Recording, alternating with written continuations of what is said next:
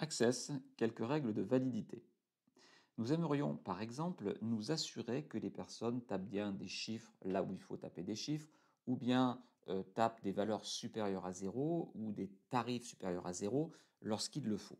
Donc pour faire ces règles de validité, en fait nous allons nous positionner sur euh, le contrôle que l'on veut euh, contrôler. on va aller donc sur par exemple là, alors on bascule déjà en mode création et on va euh, s'intéresser au champ NBMAT, nombre de matériel commandé. Le champ NBMAT, il est là. Ça, c'est l'étiquette et ça, c'est la zone de texte. Sur cette zone de texte, on va aller dans l'onglet Données de la feuille de propriété et là, on va mettre une règle de validité.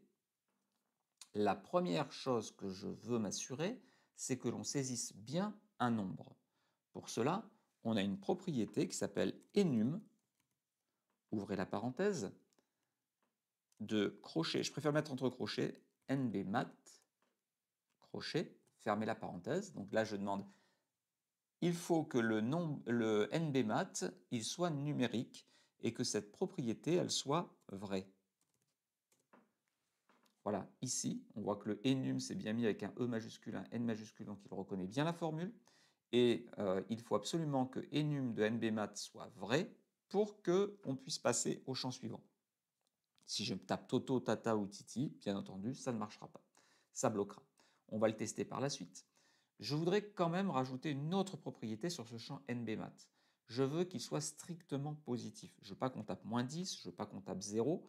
On passe pas une commande avec 0 matériel.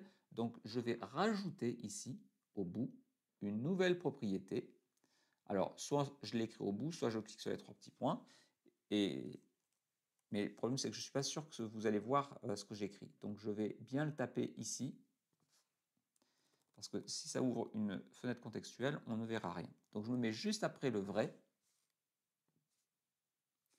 Et on va rajouter un E, ET. Par contre, c'est pas évident de se mettre juste après le vrai.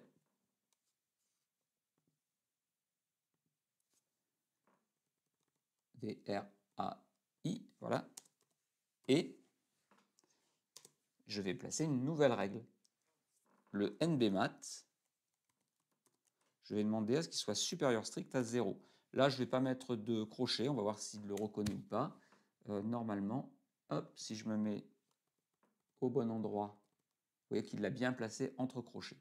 Donc là, je demande à ce que le NBMAT soit numérique et en même temps qu'il soit supérieur à 0 nous allons sur le même principe placer une nouvelle règle sur le champ euh, qui contient le stock. Alors le stock, nous l'avons ici, c'est la quantité en stock. Ça c'est l'étiquette.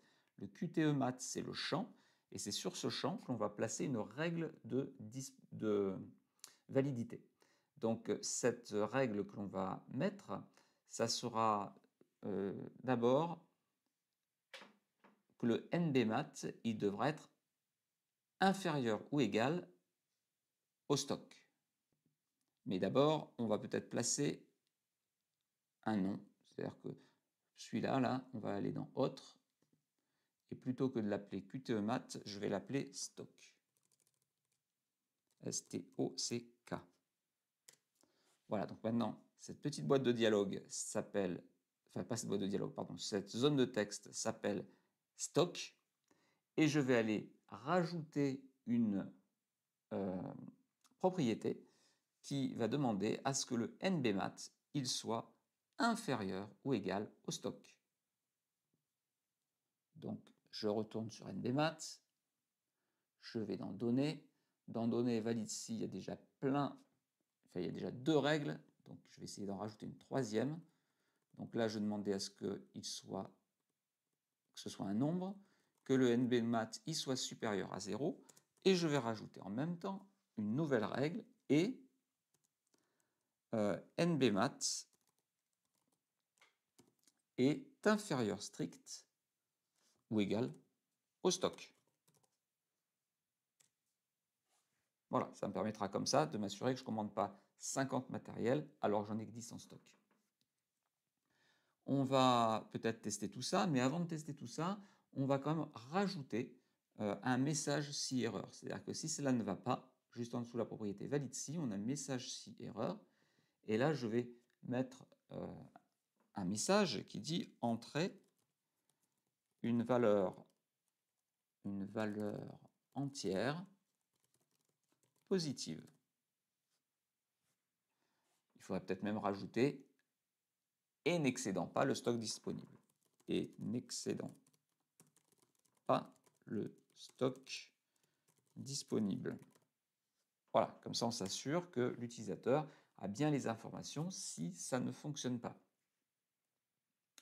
Je vais également euh, rajouter euh, une partie de ces règles de validité sur un autre champ. Euh, on, va, on, va, tester ça sur le NBLive.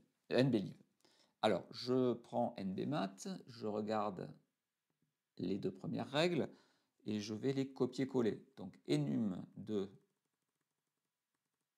nbville live égale vrai et nblive doit être supérieur à 0. Donc plutôt que de tout réécrire, je copie, je mets sur nblive et je vais coller la propriété valide si.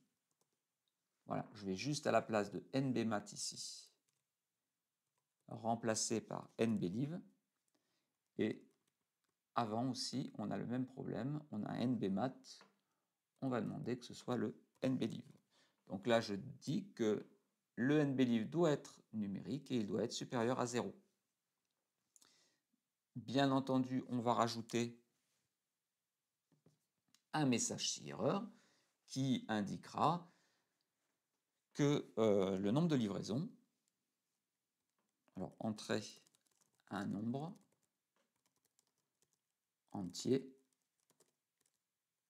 supérieur à 0. Voilà, on ne peut pas livrer 10 matériels en zéro livraison. Donc c'est pour ça qu'on met cette règle supplémentaire. On va euh, peut-être maintenant s'assurer que celle-ci fonctionne. Donc pour euh, faire cela, on va basculer. Alors avant de basculer en mode, création, en mode visualisation, on va enregistrer. On bascule. Donc le nombre de matériels, j'en ai 50. Imaginez qu'ici, à la place de 50, je tape 8000. J'en ai que 7654 il me l'interdit. On va essayer de taper moins 10. Voilà, il me l'interdit aussi. Alors par contre, je m'aperçois qu'il me l'interdit, mais parce que j'ai fait une faute. J'ai écrit TOC. Donc je pense qu'il y a une petite erreur, donc on va aller vite la corriger. Mode création. Par contre, il ne veut pas, donc je vais revenir à 50 oui. On va revenir d'abord sur le QTE-mat que l'on avait appelé stock, donc là c'est bon. Et le NBMat, j'avais mis quoi comme règle?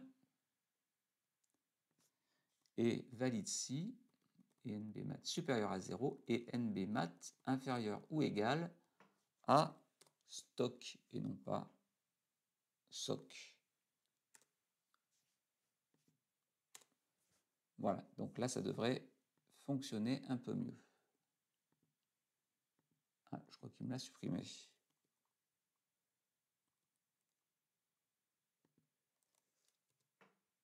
Voilà.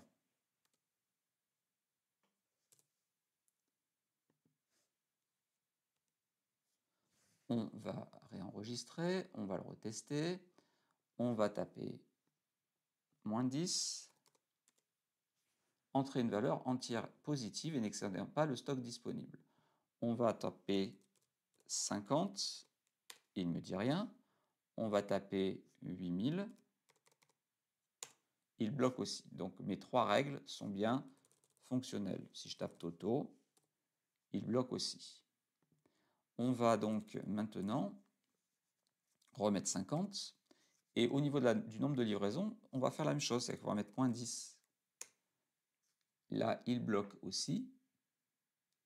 Je pense qu'il y a une petite erreur. Au niveau de nbelieve. Alors, on va retourner voir. Ces propriétés, quand on les place, il faut absolument bien vérifier. On va aller sur le nbelieve. Et là, on a enum de nbelieve et on a perdu la fin. Voilà, et enum de nbelieve égale vrai, et nbelieve supérieur à 0. On enregistre, on bascule, on revient à la place de 3, je mets moins 10, il n'est pas content, je remets 3, et ça passe. Voilà, donc ces petites règles de validité vont nous permettre de nous assurer de la saisie correcte d'une information au sein d'un formulaire. Ça évitera de nombreuses erreurs. J'espère que cette vidéo vous a plu. Si c'est le cas, n'hésitez pas à la liker et surtout à vous abonner si ce n'est pas encore fait.